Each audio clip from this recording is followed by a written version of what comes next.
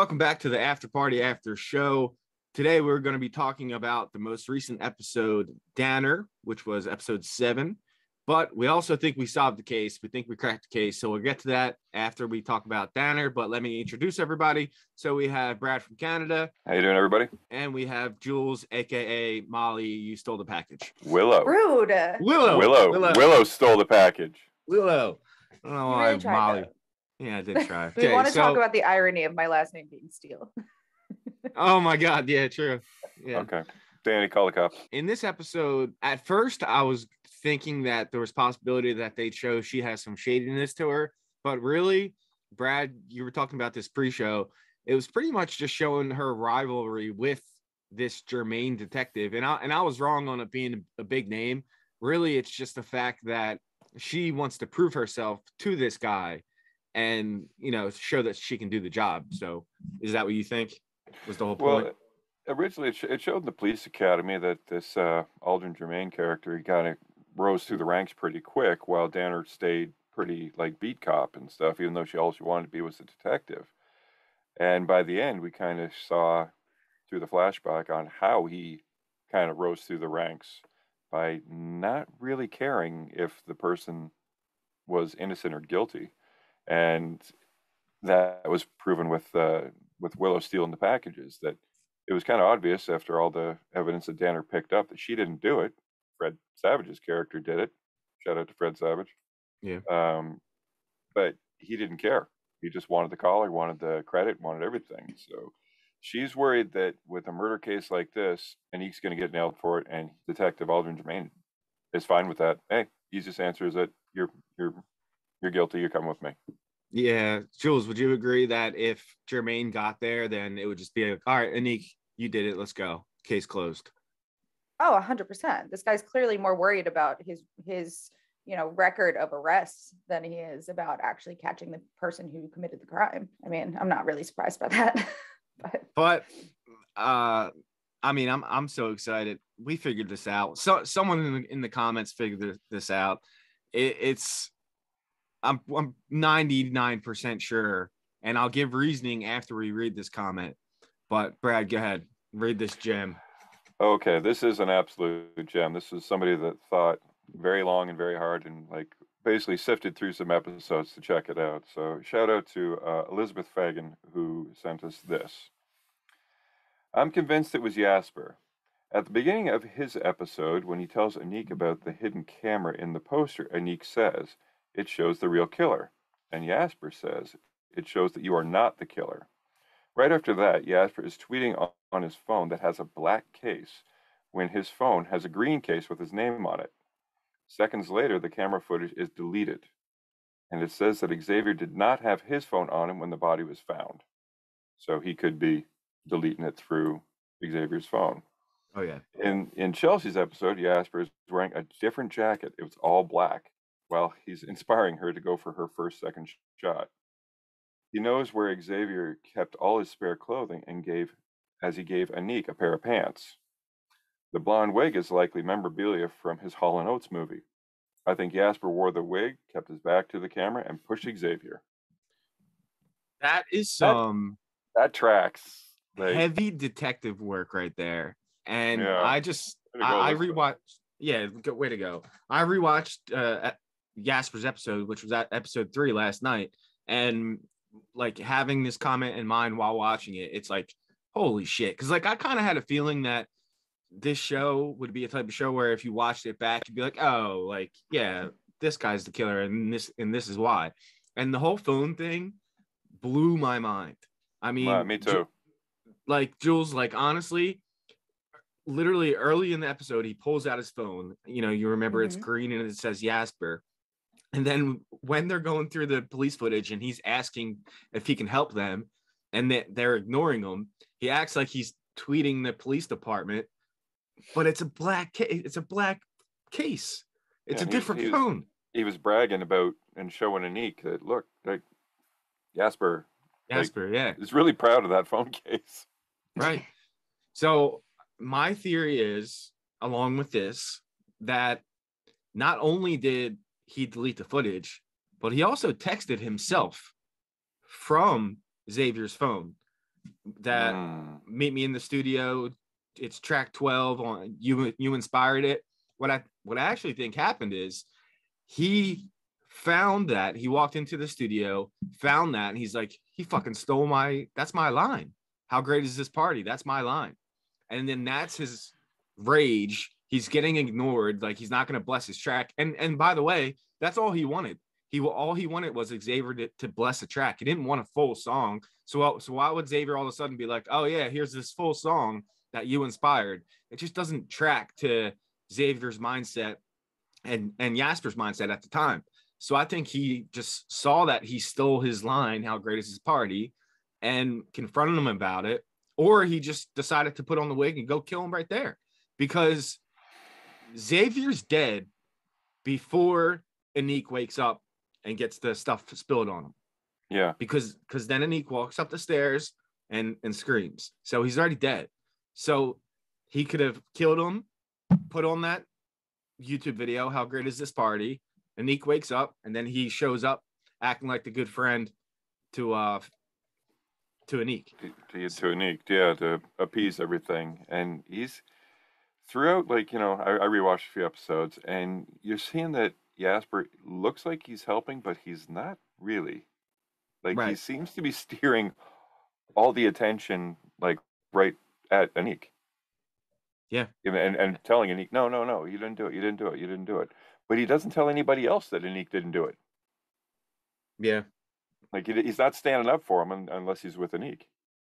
And did you see how like annoyed he got when uh Zoe stole his headphone to listen Yes. into what Oh, they were yeah. talking about in this episode? He Yeah, was and he- very salty about that. And he kept going back and be like, well, what are they He's like, saying? "What's What are they saying? Saying? Yeah. What Yeah. is saying? What's going on? Mhm. And they're like, will you just shut up? Yeah. So, so at this point, if it isn't Yasper, I'm gonna be surprised.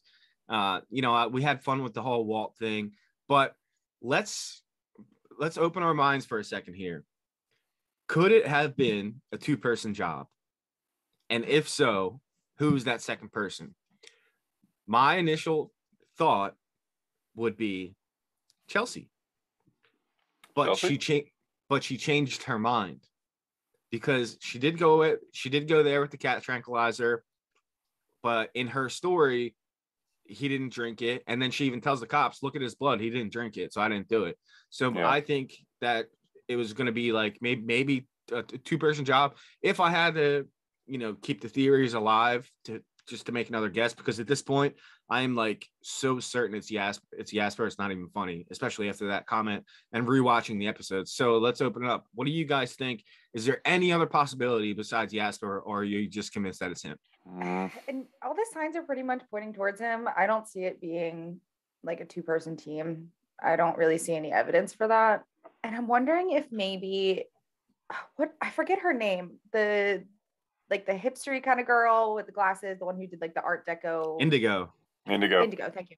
She's blonde, I right? could- She's And what? it was blonde wig? she was blonde. Yeah. Yeah. Maybe he was wearing blonde wig so that people would think it was her Ooh, because they haven't yeah. really talked about her a lot. Mm. But no, she she skimmed right under the radar just because she's all weird. Yeah. Yeah. So I'm thinking maybe that's why he went with the wig, if that's the case. Um, Yeah. Because I can't think of anybody else he'd be trying to frame with that. All right. Well, Brad, if, if you just- just are certain it's Yasper, then instead of picking somebody else, how did he get from the balcony to the downstairs living room? Did he jump? Well, How's he get down there? we don't know, but one thing we do know is that Yasper actually has inside knowledge of Xavier's place because he was there to set up all the equipment. So he probably knows the ins and outs. And he's also like a big fan. So it just seems that he would know, like, if he has to map out the stuff for all the audio equipment that he had to put in, he might find there's a secret panic room. Is there other secret ways to get up and down? Is yeah, there like a like hidden is there like a- staircase or a something. Batman fireman pole or something to to get quick down? I hope that's what it is. it has. I got him. So hoping. Okay. So he takes Uh, the yeah, whole notes wig. Yeah. He goes, pushes them off the balcony, finds a way to sneak down. And since he has Xavier's phone at this point, he could play How Great Is This Party from YouTube across the whole house Yeah. at, Without right having that, to go to the studio and stuff. Yeah. without having to be at the studio. Mm. Right. Because Because he's got knowledge of it. Right, because the phone obviously has the, the software on it. If he could delete the the footage from the phone, then he could play a YouTube video from the phone too.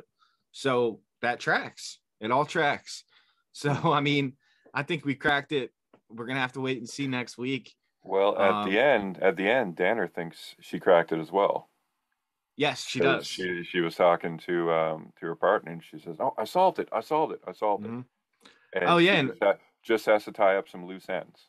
And one more thing, we actually were played a little bit by Apple TV. They messed with us with the the last title of the episode.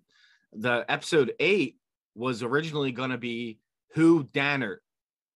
Yeah, That Who that's th- that's literally what it said in the IMDb, but it's actually Maggie. They're gonna interview Brett and Little Zoe's girl. kid. Little Yeah, girl. Yeah, because she was in the car the whole time. Right, exactly. So she's she's the one that has some knowledge. I still don't know what's up with Jennifer too. People say she, she's given birth. Did that actually get confirmed? Or people I I don't know, but it does make sense the way people explained it. Because do you remember when when Danner first walked in and she like slipped on the puddle on the floor? Yeah, a lot Her of water- people her say that that's broke. because her water broke, Her water broke. Yeah. which Okay, would make right. sense. She was very, very pregnant, like Right. very Oh, pregnant. yeah. But I find it They're hard to ready to believe that she would go to have her baby and nobody knows about it. Yeah, That's that- a little suspicious because I feel like someone would have to know. yeah. And what and she was the one that was texting Chelsea to stay away. So that's why the text messages stopped. It would track Right. that that she's given Mm. birth, but you know, how did she maybe her husband picked her up? I, I don't know. Yeah. How'd you get to the hospital? And Yeah. no one, the police just let her go. And so, That'd be wild if she was in on it and she was just like hidden the, the entire time, and then we find she's- out. Yeah, I mean, because they, Hmm. they they could they could pull the rug out from under us, and it and it might not be Yasper, but the evidence just it just it's there. there's so much. There's so much there. that we did we didn't even notice until we read uh read uh Elizabeth's Elizabeth's- comment here. Yeah, Yeah, and Yeah. I feel like it has to at the very least be one of the guys. Like I feel like they wouldn't parallel the wig thing with Danner's original story if that didn't have some yeah, like reason that's for true. it. Do you know what I mean? It's too close That's- to that story. No, it is. and Too close. and that's when you're right because that's what her partner Culp when he said, "Wait, so you think that the producer put on the wig just to kill?" He's like, "That doesn't make sense." And then she's like, "It does make sense, and I under and I know who did it." So like, you're right. It it it absolutely has to be a man, and for her to make that connection in her brain with that previous case, you're right. Yeah, yeah, yeah. that's what solved it. yeah, hundred percent. All right, so I guess we'll see if we're wrong. We'll be back here next week to discuss the finale. But either way, such a fun ride, man! What a great Oh, show! it's awesome. I, I do, I do have one. I more. do have one more theory. Yeah, go It's- Okay, I think Walt helped at Yasper. But I Okay. don't. I don't think. I don't think Yasper remembered him helping. so, so we'll get away with it. So Shut up, Walt's that's gonna. great. That's fantastic. I love that theory. Poor Walt. The guy's done man. nothing but try to be the sweetheart of a guy, and I've just uh, he's a murderer. I don't know why. Oh, that'd be hilarious. Oh, all right. Yeah. yeah, that's a good way to end it. Okay. Well, thanks for listening, and uh, we will Make see you you next comment. week. Throw Yeah, some comment. comments out. See if we're right, wrong, or indifferent. Do you have any more wild theories? Because we'll read them. We're here for all of them. We love all this. This is awesome. Yeah, hundred percent comment, subscribe, and uh, thanks for listening. And we will see you next week. All right. See you. Bye, guys. Thanks, guys.